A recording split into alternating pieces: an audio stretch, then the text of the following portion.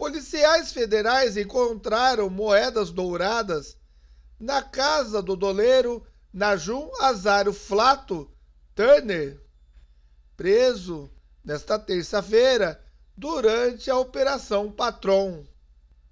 Segundo apurado pelo G1, os objetos ainda serão periciados para saber se são de fato feitos de ouro.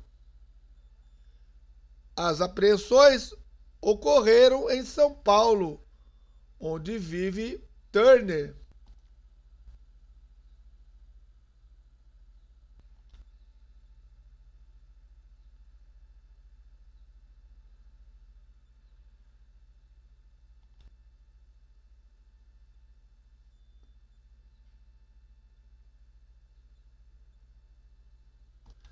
Também durante as diligências, nesta terça, agentes encontraram na casa de Mira de Oliveira Ataíde, namorada de Dário Messer, o doleiro dos doleiros, três bolsas e um relógio Rolex.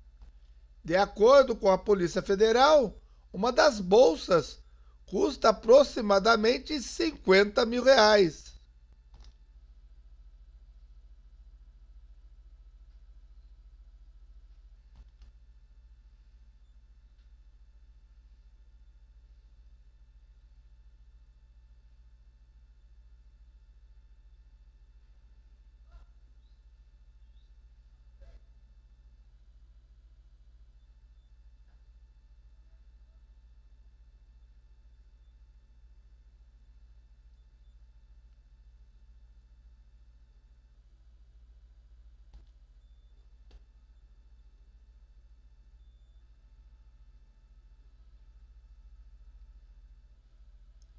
Com o dinheiro do povo é muito fácil ter bens de alto valor. E você, o que pensa sobre isso?